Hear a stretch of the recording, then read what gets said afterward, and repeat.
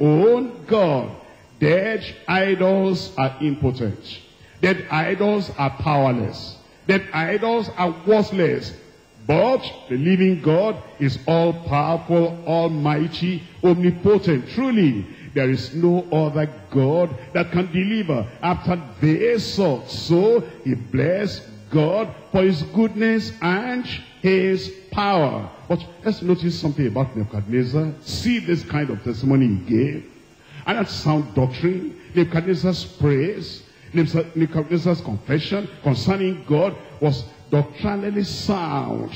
Not only that, it was widely publicized. He announced everywhere. He said, there is no other God like this. Nebuchadnezzar, that's true. But Nebuchadnezzar, I have a question for you. If you make that public confession, that public declaration, there's no other God like this, what are you doing to your image? You know, you must carry everything to the practical, logical conclusion. When you say something, you follow it through. If you say there's no other God that can deliver, like this God, the God of Shadrach, Meshach, and Abednego, I want to see the logical conclusion and the practical conclusion. Bring that image down, smash it, crush it, and throw it away. Then I will know that your testimony is for real. That's telling us something. There are some people like Nebuchadnezzar. They can say the right thing. They can quote the right word. And they can talk doctrinally sound. And they can even publicize it. They can stand up in, in the assembly of the people of God and say, there is no God that can deliver after this sort. And yet, they will not follow it through and repent of their sin. And yet, they will not follow it through and abandon their idol.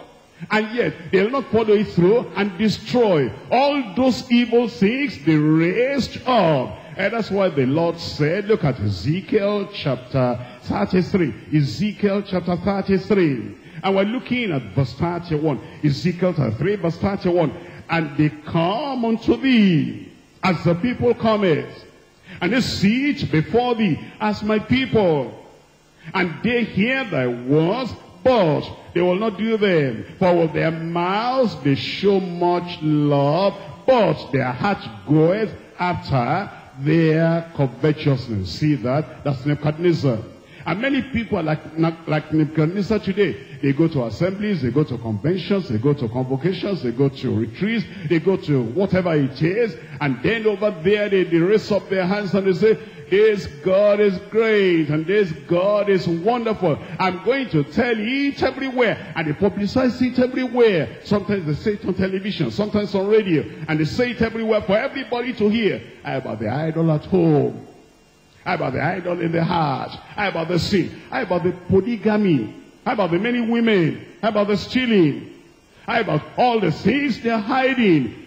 Carry the confession to a logical conclusion. Don't just say it with the word of mouth. That was the problem of Nebuchadnezzar. He said it with the word of mouth. He did not follow it through with his life. In Isaiah chapter 29, I'm reading verse 13. Isaiah chapter 29. And we're looking at verse 13. Wherefore the Lord said, For as much as these people draw near with their mouth and with their lips do honor me, but remove their heart far from me. And their fear toward me is taught by the precepts of men. Therefore, behold, I will proceed to do a marvelous work among these people. Even a marvelous work and a, and a wonder. For the, for the wisdom of their wise men shall perish. You see that there's some people that go to some meetings today. Sometimes I think it's for political reason. When you have, uh, you know, thousands and thousands of you know, children of God gathering somewhere and then you feel that, oh, these people are very many. If I can just go there and identify with them, I think if I need to be voted for, I'll be voted into office again. I think that's why some of these people go there. And then they might make a public declaration, this God is wonderful, and this God is mighty. There's no God like this. Hey, I heard that before from Nebuchadnezzar. His heart did not change. His mind did not change.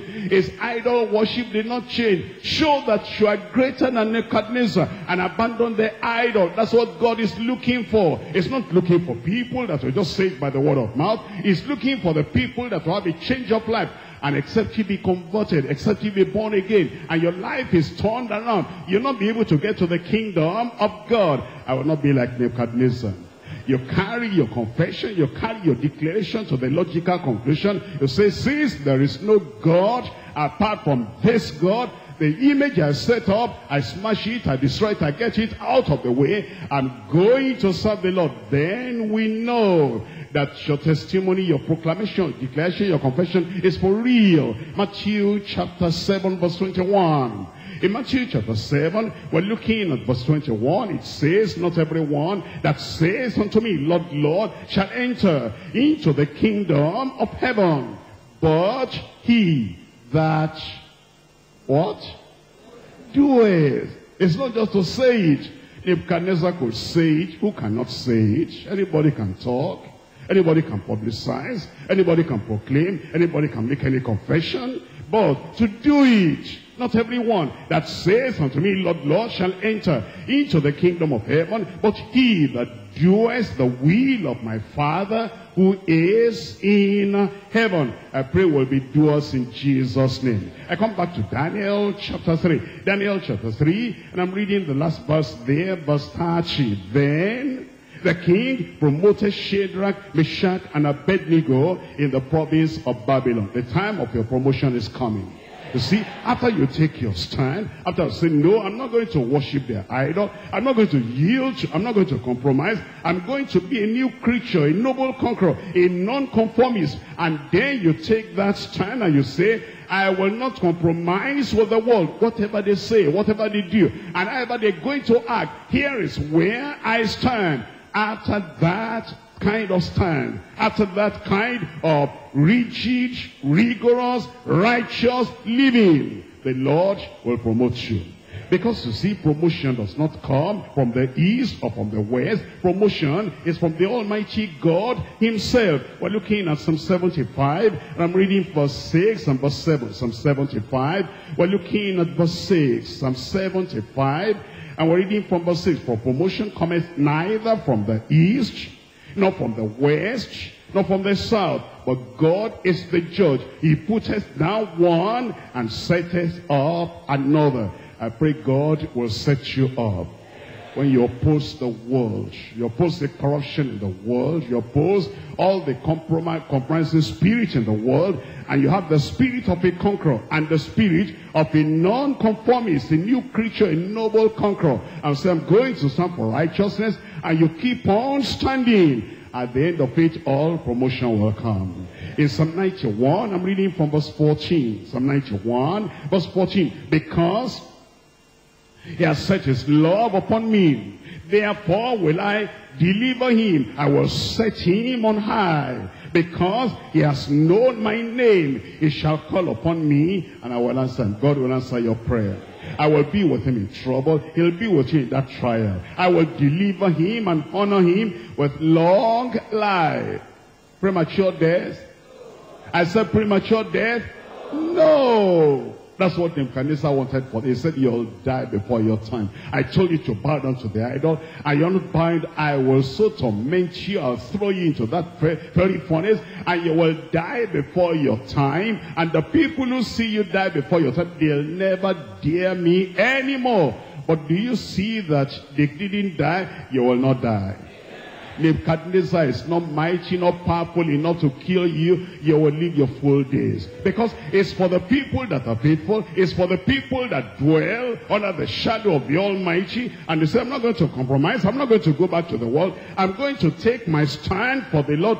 Those are the people. And the Lord will see that you have that long life in Jesus' name. With long life will I satisfy him and show him my salvation. He will show it to you. In Genesis chapter 41. Genesis, I'm reading chapter 41 verse 39. Genesis chapter 41 verse 39. It says, And Pharaoh said unto Joseph, For as much as God has showed thee all this, and there is, there is none so discreet and wise as thou art, thou shalt be over my house. And according unto thy word shall all my people be ruled. Only in the throne will I be greater than thou. And Pharaoh said unto Joseph, See, I have set thee over all the land of Egypt. You know the persecutors, here comes the dreamer, let us kill him and see what will become of his dream. They wanted to kill him, but God said no. If God says no to your enemy, there's nothing they can do. If he says no to Satan, there's nothing he can do. And if he says no to those people having the power of darkness over anybody, but not over you, it, it will not hold. God said no to the persecutors of Joseph, and now God promoted him, God will promote you. All the Lord is waiting for is that you'll take your stand. You will not compromise with the people of the world. You'll say, here I stand. I'm not going to bend. I'm not going to bow. I'm not going to yield to the will of Nebuchadnezzar or an idol worshiper or to the will of society. I'm going to do the will of God all my life. And the Lord will be by your side. Why don't you stand up and tell the Lord, Oh Lord, I'm going to take my stand. And I'm going to keep on standing for righteousness earnestly contending for the faith was delivered unto the saints. I'm not going to allow the threats of in your life. Stand up and tell the Lord, oh Lord, I thank you what I've learned today. I thank you what I've learned. I'm going to take my stand. I'm going to stand for righteousness. I'm going to hold on to the truth. I'm not going to allow anything to sway me, anything to discourage me, anything to destroy my stand. I'm going to stand. The Lord will be with you. The Lord will abide with you. Tell the Lord, tell the Lord, and say, Lord, thank you for my salvation. Thank you for bringing me to the gospel. Thank you, Lord, for what you have done, what you've done, what you've done in my heart, in my life. Lord, thank you for your grace. Thank you for the transformation. Thank you for making me a new creature in Christ. A new creature, a non-conformist. You tell the Lord, the world is trying to bend you, bend your will. The Lord is, the world is trying to make you bow. And the Lord is trying to, the, the world is trying to make you bend. And you're saying, oh no, I'm not going to bend to them. I'm not going to bow to them. I'm going to stand for my Lord. Keep on standing and the Lord will help you. Keep on standing, standing for righteousness, standing for the truth, standing for the faith once delivered unto the state. Don't just stand with proclamation, with confession. Don't just stand with uh, promoting and, uh, and publicizing with your very life, your very life, saying, I'm going to the righteous when they're doing what they're doing and when they're going the way they're going and when they're going after the world. I'm not going to go after the world. I'm not going to go after the world. I'm going to stand for righteousness. And then the Lord will uphold you and the Lord will preserve your life. Tell the Lord, the challenges are there in your office. The challenges are there in your community. The challenges are there in your home. The challenges are there in your family. The challenges are there among the men and the women around you. And they want to bend you, they want to crush you. They want to make you compromise. They want to make you unfaithful, disloyal to the teaching of the Word of God. They want to make you a wishy-washy church goer, a compromising Bible carrier, a bench woman in the church. And they want to make you as, as defiled, as sinful, as backsliding as they. But no, you are going to take your stand. You wake up today, you wake up today and say, Lord, now I know, now I know, now I know where the promotion lies, where the preservation lies, where the, where the preservation, the provision of the Lord white lies, is on the side of the people that will not compromise. Take your stand, take your stand. Don't allow any intimidation, don't allow any kind of frightening, don't allow any kind of threatening. Take your stand and say, here I stand. I will not do otherwise. And the Lord will be with you. The Lord will be with you. The Lord will be with you. It's on the side of those who refuse to bow to the enemy. those who refuse to bow to the devil, those who refuse to bow to the idol worship.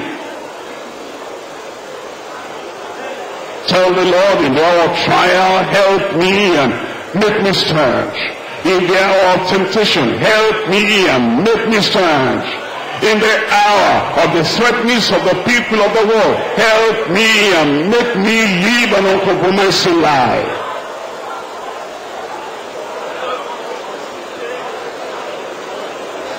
They cannot hurt you. They cannot hurt you. What can they do?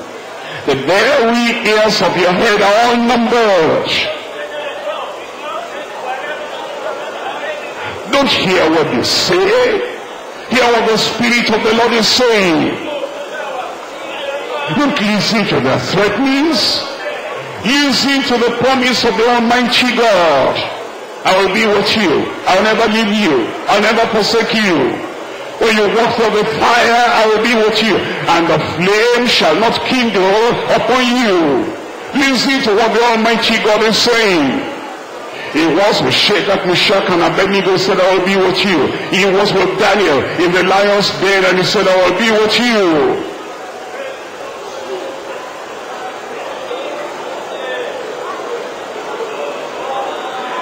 Live for righteousness. Live for purity. Yes, the people are there, the people of the world, who are born after the flesh, those who are fleshly, those who are worldly, those who are carnal. They are trying to persecute those who are born after the spirit. But the persecution means nothing. Go ahead and live for God. And live for Jesus. And live for His glory. And exalt Him and honor Him. And let your light so shine before men that they will see your good works and glorify your Father in heaven.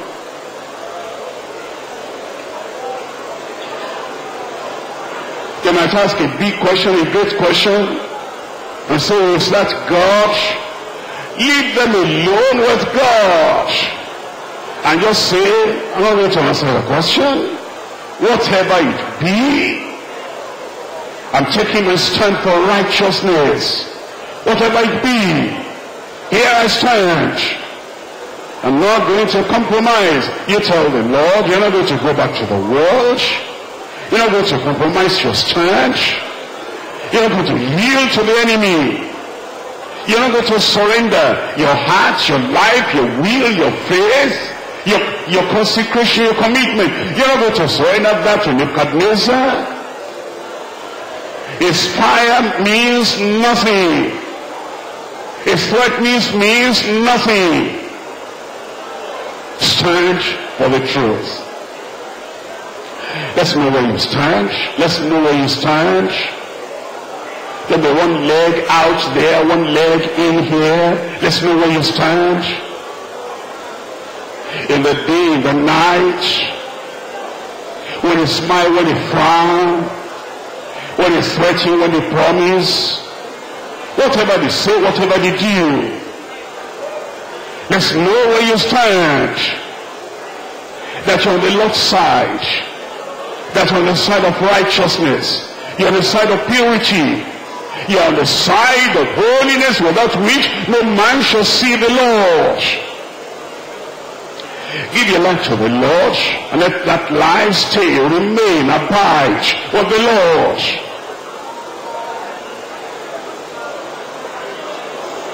Now you know they cannot hurt you. Now you know there's nothing to fear. Now you know the Lord is on the side of the people that stand for truth and righteousness. What are you waiting for then? You bend the rule a little before, you bow down a little to them before, go back and reverse that compromising situation. Go back and now take your stand. That the people will know where to find you. When they're looking for people who are faithful, who are righteous, who are pure, who are non-conformists, then they will know you are the man, you are the woman, you are the boy, you are the girl. No fear in your heart. No intimidation making you to tremble, making your feet to knock together.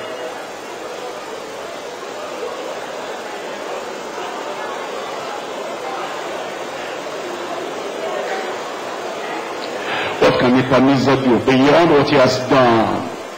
And he failed, and they always fail. Tell the Lord, this time to have strength. This time for the Lord to give you courage, commitment, conviction. So that as you go back home, whatever they say, you're standing erect and standing firm for righteousness. When you go back to the place of work this week, you're taking your stand. And those who see that they lose their hope of gain, unlawful gain, because now you have exposed their fraud, their theft.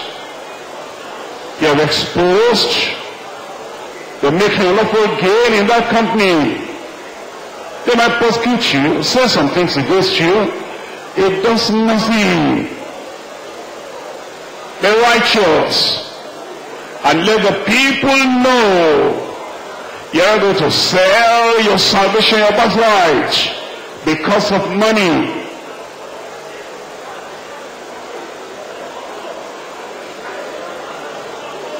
And remember, those who run errands for Nebuchadnezzar, they are the people that will burn a fire.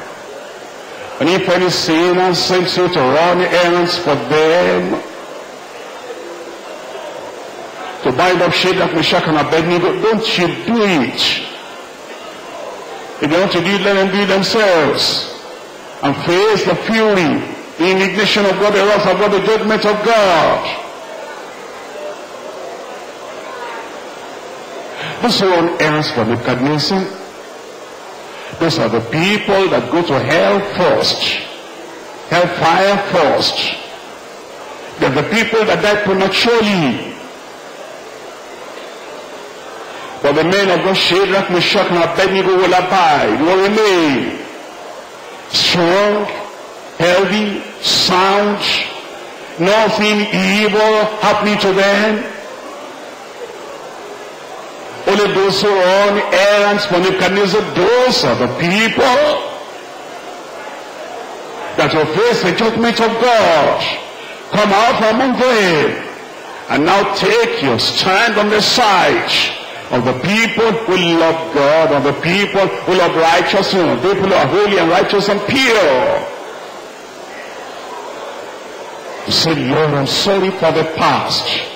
Now in this present day, now in this present time, now in this present hour, I'll be standing for the truth. No more compromise, no more trembling, no more shaking.